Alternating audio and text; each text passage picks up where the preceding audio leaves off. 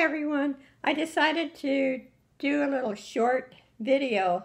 Apparently my first video was too long and YouTube cut me off.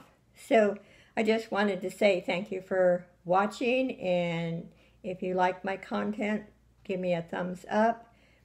And I know my lighting was off this time, but hopefully I'll do better in my next video. And I did put my links to Etsy and eBay. And uh, anyway, thank you very much. Bye.